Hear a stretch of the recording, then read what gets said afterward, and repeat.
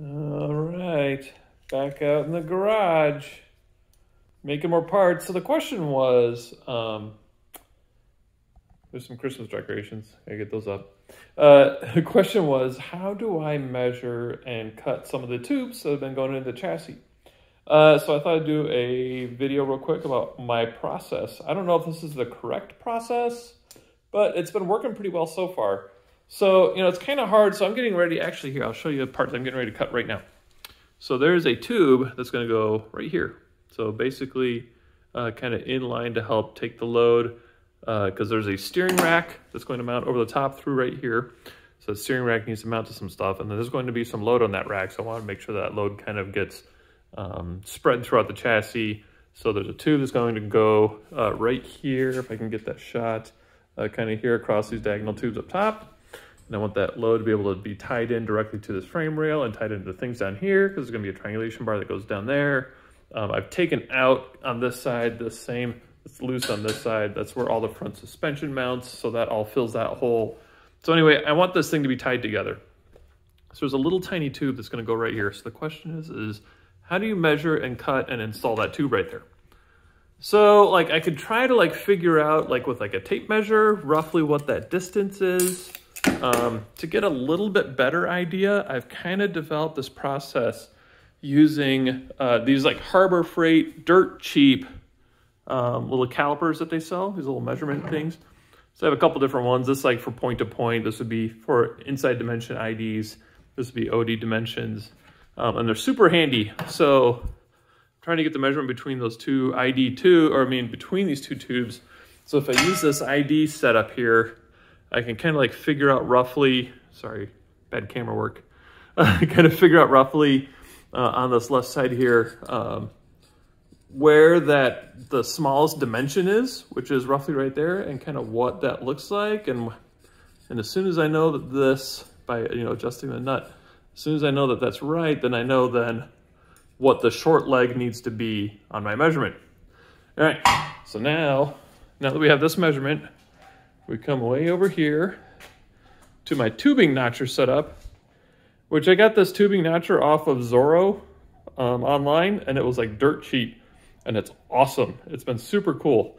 Um, but anyway, so I just, you know, I have like, I'll scribe this, I don't know if you can see that, like a red line as kind of just like a guide all the way down one side of the tube. Just set the tube flat on, you know, the floor or your work table or whatever, and take a pen and just straight line all the way down the thing.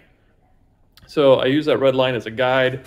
It always gets mated up to the same side here. I know I'm cutting the short side, so you can picture this is set to the correct angle. If I were to look down on a thing, it's going to cut across, right, as the tubing notcher goes in. So the, I'm measuring my short side here.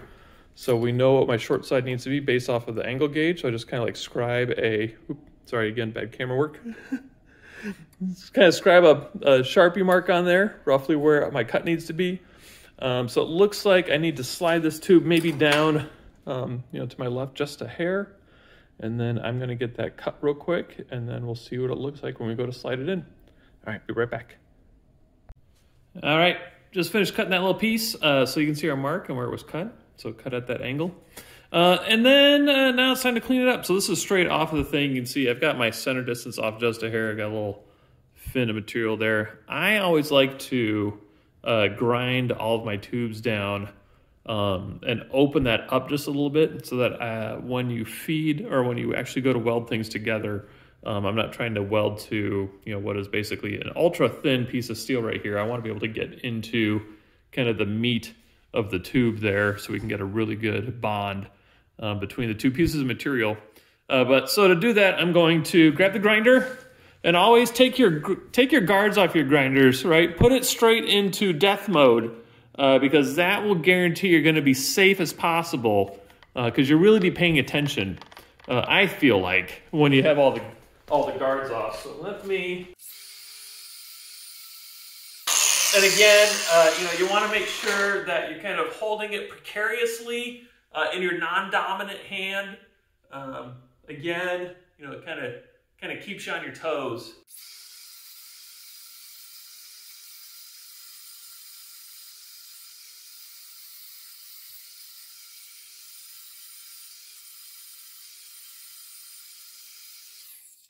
That's one side done. Let's flip around. Uh, don't wear gloves. That's important so that when you grab it, uh, it's going to be a little toasty. It's a little warm. Uh, so that's good. Again, you know, it's all about just making sure you're paying attention.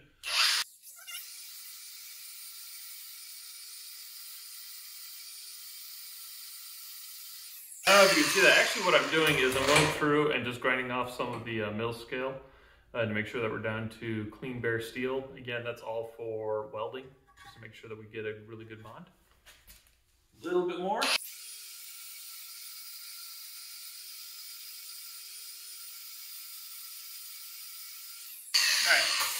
Close enough. So here is the uh, kind of finished pieces cleaned up. Like I said, you know, I'll usually come back through and kind of like round over that edge just a little bit.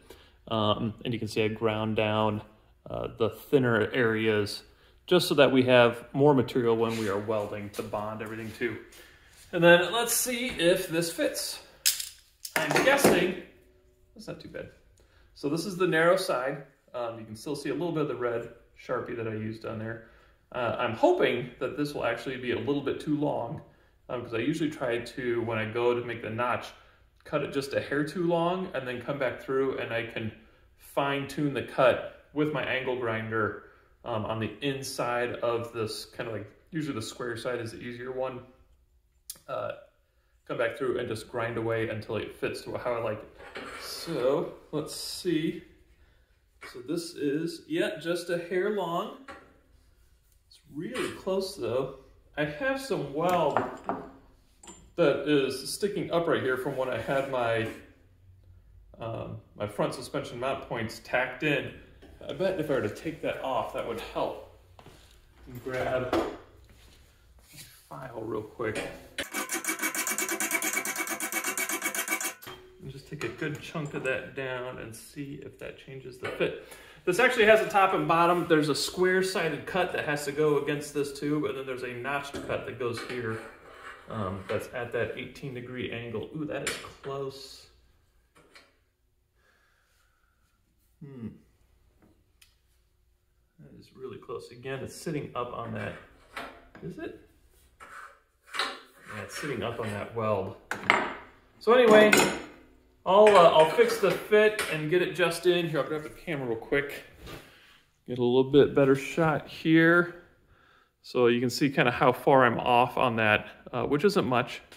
Like I said, I'll, I'll come back through and kind of fine tune the fit right there and slide it in until it lines up nice. And then I'll do that for the other side. And then there will be another tube that goes all the way across here. And that will give me two nice planes um, where I can make the mount for the front steering, um, that steering box that lives up here. So anyway, that's how I do that process. Uh, so once you learn how to do it, it goes pretty quick. It's not too bad. I try to get a couple done a night. Um, that's gotten me where we are right now with this pile. And then uh, I've got lots more tubes that need to get put in. Um, the thinner stuff actually has turned out to be a lot easier. Um, the smaller diameter tube obviously just was less ma material. So I've got uh, kind of up front, or I mean, I guess back there, uh, some three quarter tube to kind of triangulate some things. Um, some of these bigger sections up here all get triangulation tubes that go inside them. And then obviously uh, where some equipment needs to mount, there's a couple more tubes that need to get tacked in. So the frame is super close, super close. And then it's time to start working on upper and lower control arms and the rear mount for the rear suspension and an engine mount plate. And I've got to get an engine. Uh, a lot of work still to happen. A lot of work still to happen. For the glory, making it happen. All right. Happy holidays. Hugs and kisses. Talk to you later. Bye-bye.